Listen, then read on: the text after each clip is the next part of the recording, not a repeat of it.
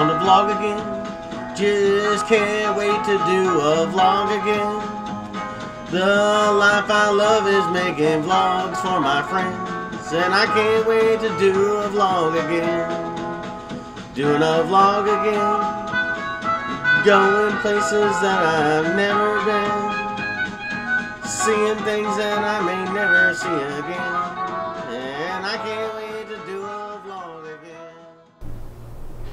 Hello everyone and welcome back to The Top Vloggers. As always, I am your host, I am Mighty Joe. The lovely Kat is at her shoot job and then she has got to go to the Walmart and pick up some groceries and some other things that we have been needing around the house.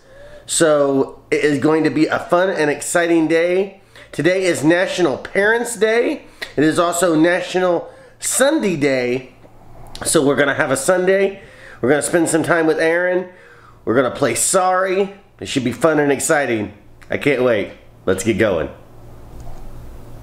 Well, while the lovely Kat was at her shoot job, uh, I was able to get these figures hung up right here. The Enzo Amore and Big Cass figure that I had. Also able to get the Bianca Belair and Angelo Dawkins. Uh, am definitely missing the Montavious or uh, Mont.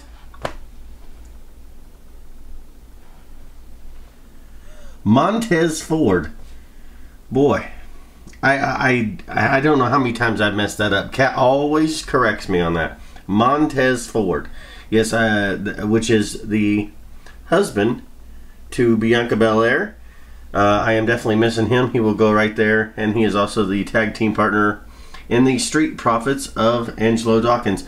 I thought when I bought the Angelo Dawkins that I also bought a Montez Ford, and I thought it was in the box uh, where this figure was, but when I went in, there was no figure. So uh, we'll definitely have to rebuy that.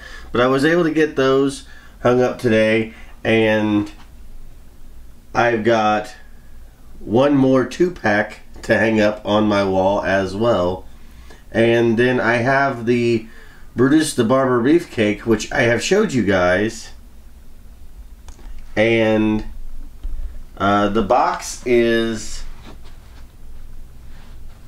uh, just uh, it's, it's just no good the, the, the box is as you can see, it's it has no no no thing here at the top. Um, box cutter ripped right here. So, yeah, we're thinking about taking this out of the box. The whole thing is, I do not have the Hulk Hogan to go next to this uh, that I would like. So, um, not exactly sure what I'm going to do with that, but if I do decide to open that, I will uh, let you guys know, and I will open that on camera for you guys so you guys can see it out of the box. All right, well, the lovely Kat is at home. How are you doing today, dear? Did you have a great day at work? Not really. Not really. Okay, well, uh, she uh, is preparing the garlic bread for uh, spaghetti and garlic bread, and she was also able to pick up these uh, limited edition salted caramel brownie Oreos. So we're gonna try those after dinner. And she also picked this up. Fruity Cereal Kit Kat Limited Edition. Limited Edition. So we're gonna go ahead and try that as well. Um, uh, it should be an exciting day uh, for us to go ahead and try all these treats. And we're having spaghetti and garlic bread for dinner. Are you having a great day, dear? Apparently not. I, uh, I wish it, I wish you were having a better day. I'm very sore. I'm very sore. I know your knee. I know your knee hurts. And my tooth is hurting. I'll be happy after tomorrow when it's taken out. All right, this is the first thing that we are going to try. is the Kit Kat Fruity Cereal. I'm going to hand this to Kat. She's going to open it up and uh, service, and then we're going to try it and tell you what we think, whether it's good or bad. Here we go. Okay, my dear, this right here is what we're dealing with. Hope we can.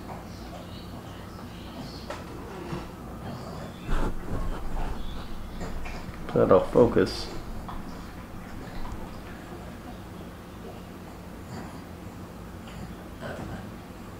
There you go. As you can see, it has the little specks of fruity cereal in it. Have you smelled it yet, my dear? Smells good. Smells like the cereal. It's already melting in my on onto my fingers. It smells like a bowl of Froot Loops. Well, we're gonna try it out.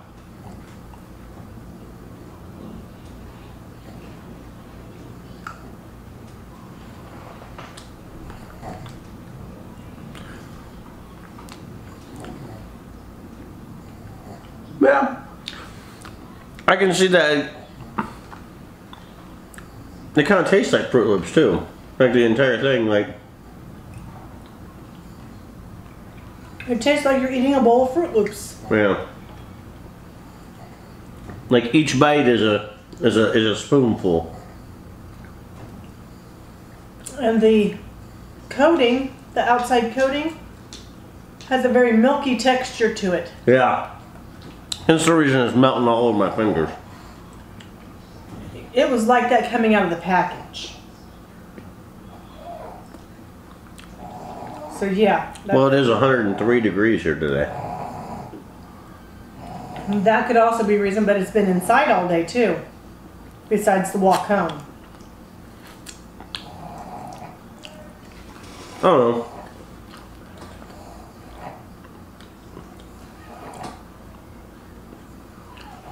I like it, but I don't think I would buy it again.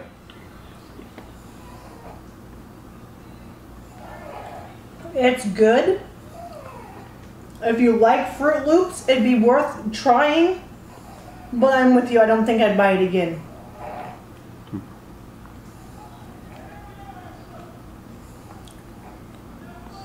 Well, now we are going to try the limited edition.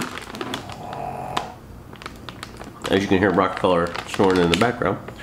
Limited edition salted caramel brownie Oreos. So, I'm gonna open open these up. Get one out.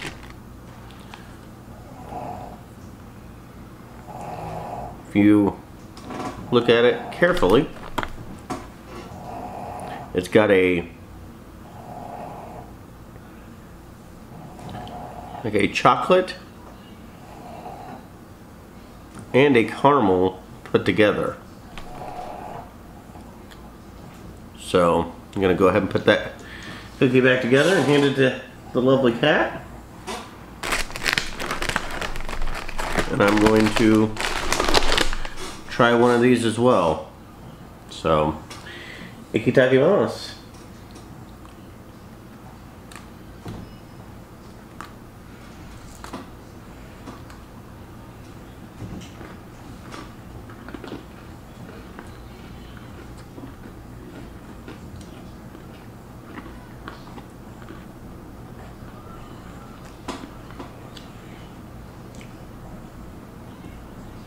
What do you think, dear?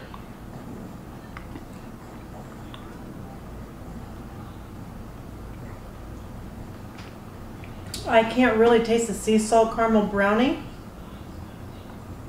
The only thing I taste is the Oreo cookie on the outside. Not a fan. Uh, that is for sure. I think it'd be a lot better if the Oreo cookies were thinner.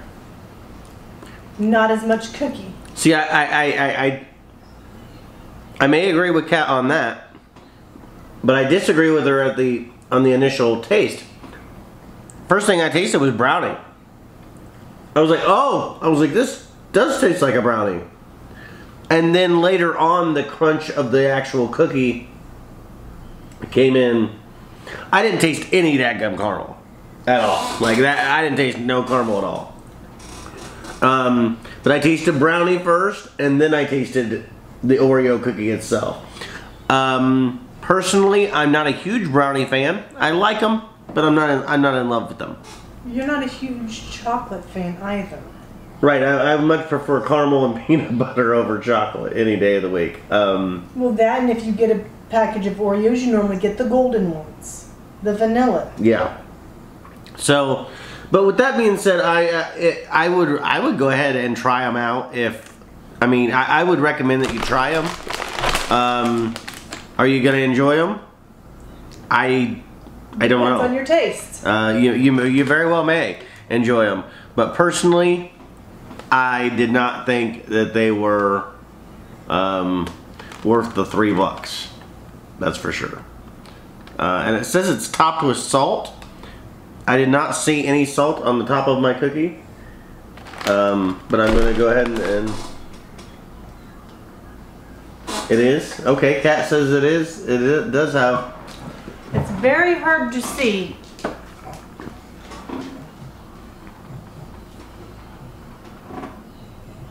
See if it'll focus.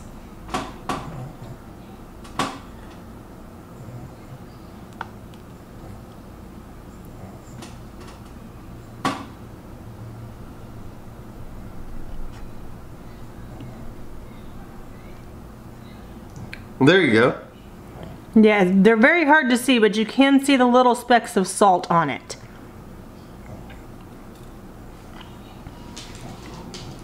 So that is something to uh, to go ahead and and know that it is topped with salt. Like I said, uh, I gave up traditional salt. What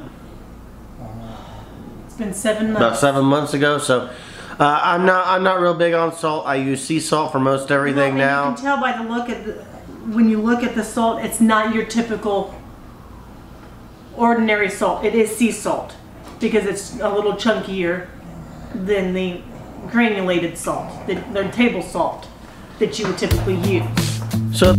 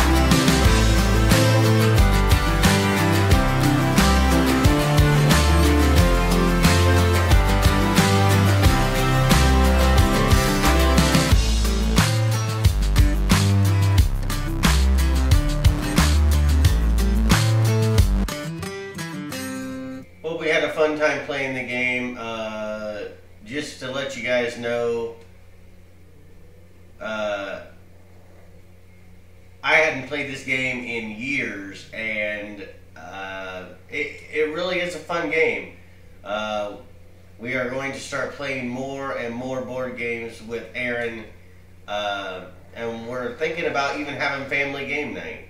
So, uh, definitely something to uh, keep in mind for you and your family. And Kat wins. As you can see, the rain is coming down. It is lightning. It is thundering.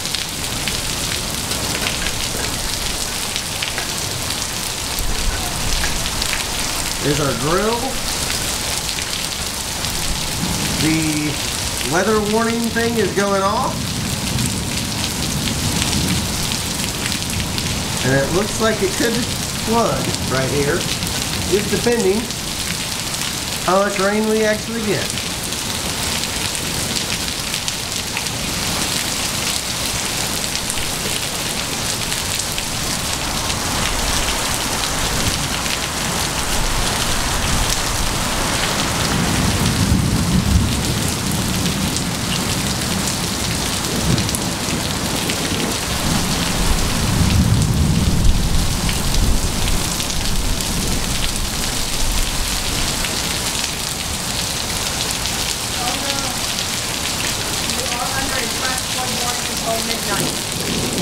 Flash flood warning until midnight.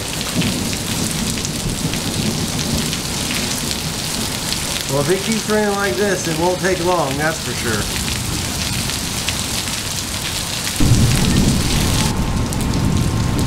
So as you can see, the rain has slowed down some, but we are still getting lightning and thunder. And the rain hasn't hasn't stopped. It's just slowed down So